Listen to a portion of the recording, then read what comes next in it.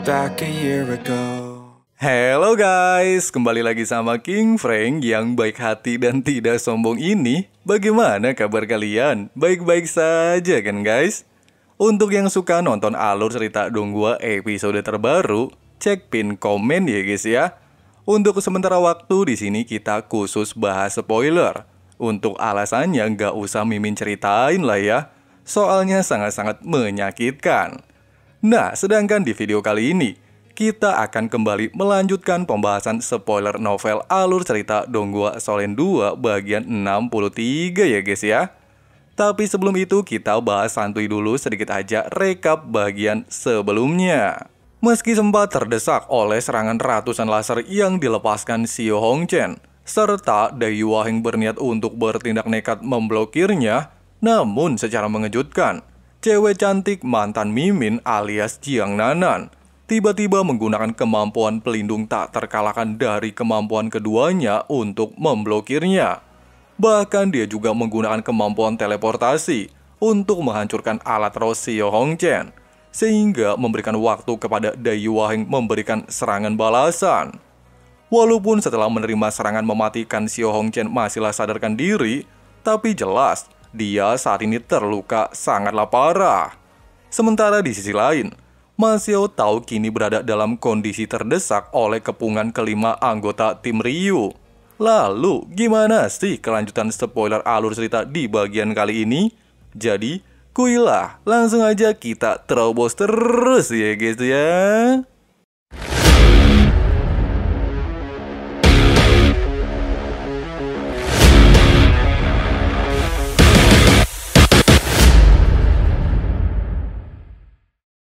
Sementara Xiao Hongchen saat ini sedang terluka parah. Di sisi lain, Ma Xiao Tao mengambil keputusan luar biasa tak terduga.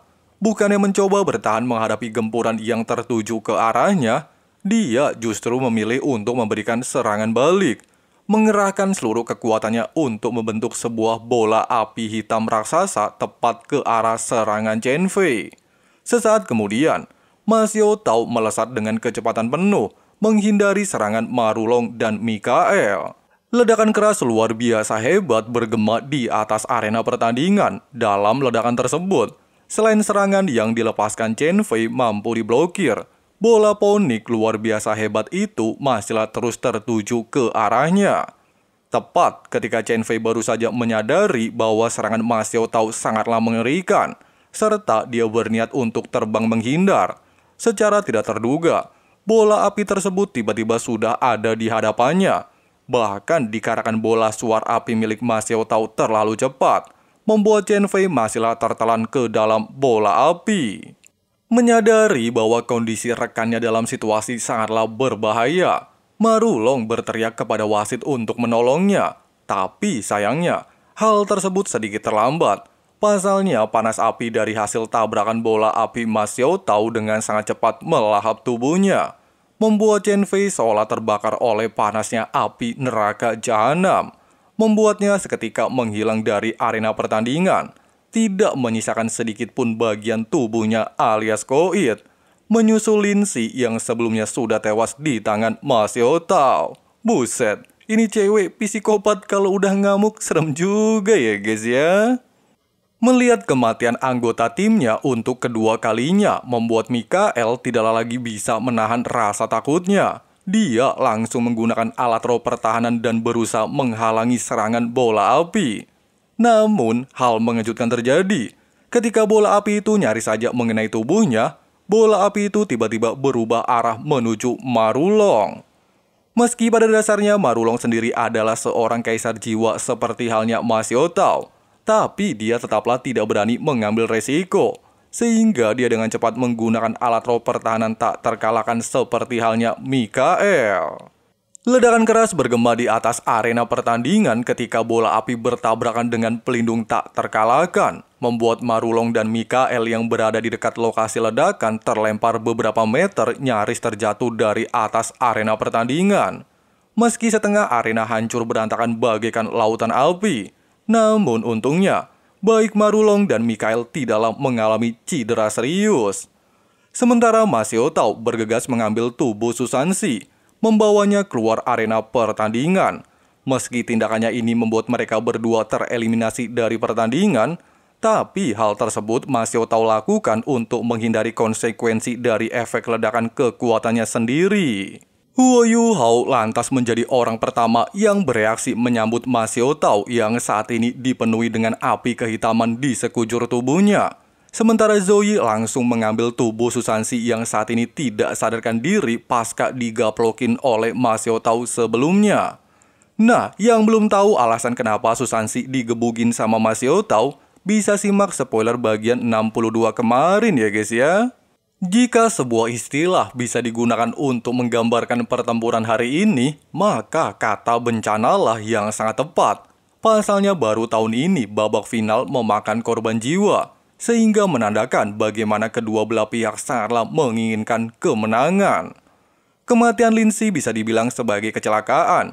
Pasalnya tidak ada yang mengira api Masio Tau bisa menembus alat roh pelindung tak terkalahkan.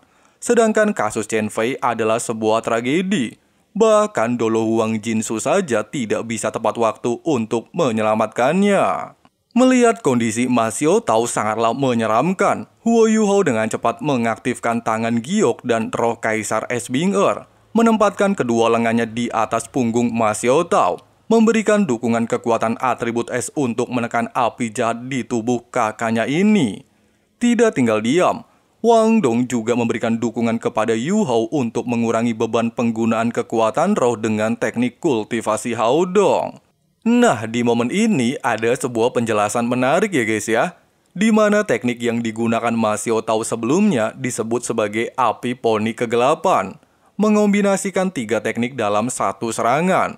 Di mana metode yang digunakan Masio Tao ini merupakan teknik rahasia Akademi Shrek layaknya Susansi saat menggabungkan keempat tekniknya menjadi cincin roh 10.000 tahun. Masih ingat kan guys? Nah, dengan teknik tersebutlah, Masio tahu mampu menciptakan kekuatan menakutkan layaknya seorang dolo 8 cincin roh.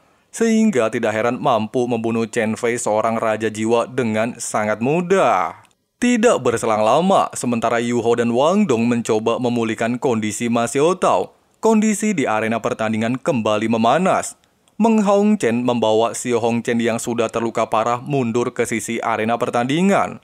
Sementara tiga anggota tim Ryu yang tersisa terlihat semakin menggila setelah dua anggota mereka terbunuh oleh Ma Xiao Tao, di mana Marulong memimpin sisa anggota melepaskan alat roh terkuat mereka, berniat menyerang habis-habisan anggota tim Shrek.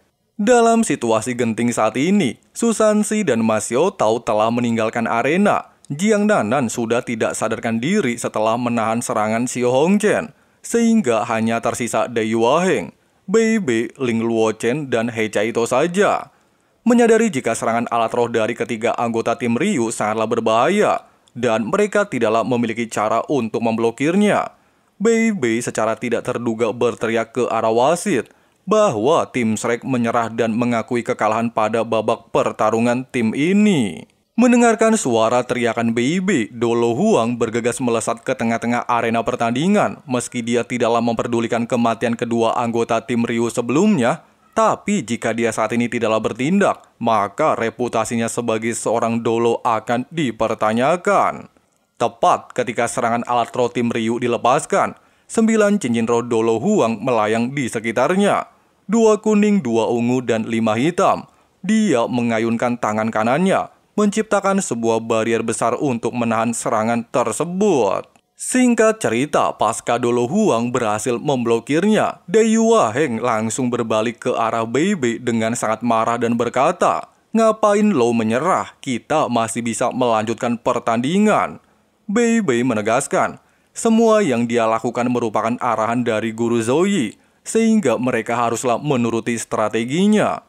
Tidak terima dengan kata-kata tersebut, Dayu Waheng lantas membentaknya bahwa kemenangan sudah berada di depan matanya.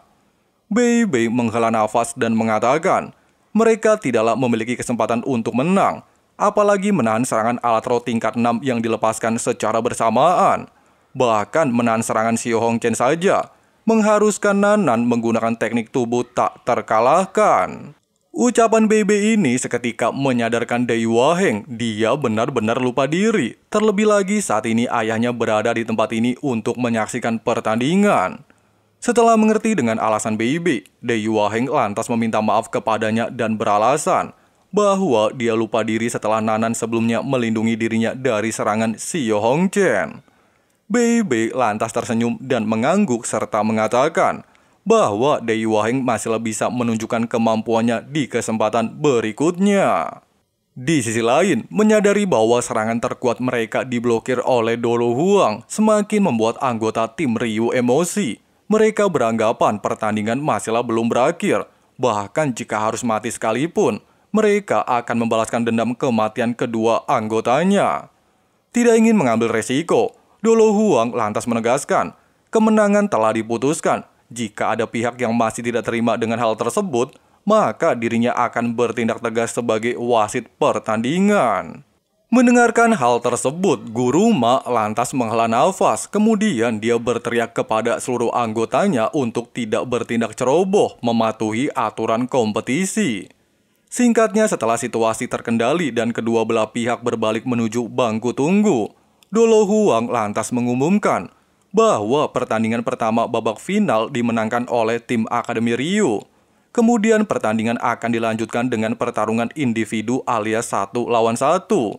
Pada saat yang sama, kedua tim haruslah menyiapkan daftar tujuh peserta yang akan berpartisipasi.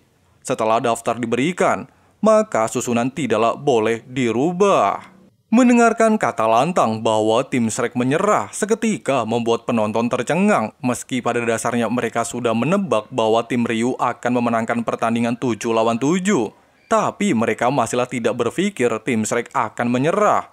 Bahkan beberapa penonton mulai gelisah dan mencemooh Akademi Shrek, membuat suasana di bangku penonton menjadi sangat riuh. Tepat di saat gosip-gosip tidak sedap mulai berterbangan, Daiho berdiri dari kursinya, meminta seluruh orang untuk diam dan menegaskan. Kedua tim telah melakukan yang terbaik. Kemenangan dan kekalahan sudah hal wajar dalam sebuah kompetisi. Siapa pun yang menghina kedua tim akan dihukum dengan berat. Nah lo, dengerin ya guys ya. Jangan suka ngegosipin orang ya kan. Bahaya, ntar dihukum sama Daiho ya guys ya. Sebagai komandan militer selama bertahun-tahun, kata-kata sederhana dari Daiho ini dipenuhi dengan aura bijaksana. Bahkan hanya sekejap mata mampu mengendalikan situasi.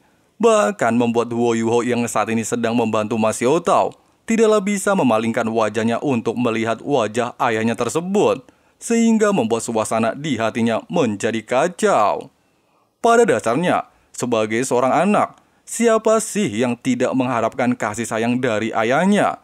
Bahkan memiliki ayah seorang pahlawan kerajaan.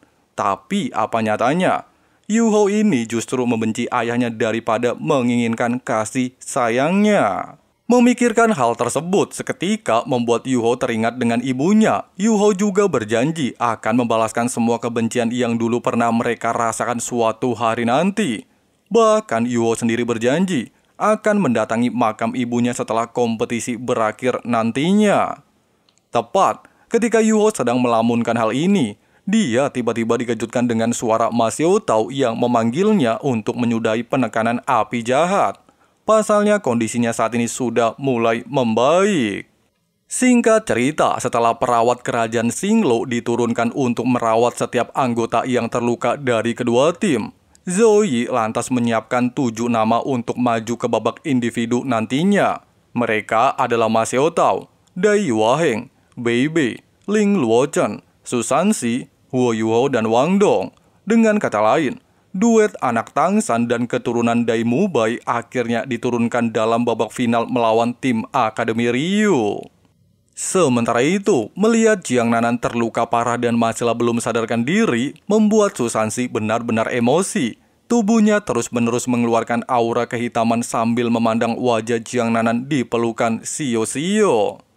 Tidak ingin Susansi lepas kendali sebelum pertandingan dimulai, Bei Bei lantas menggaploknya, memintanya untuk bersikap tenang.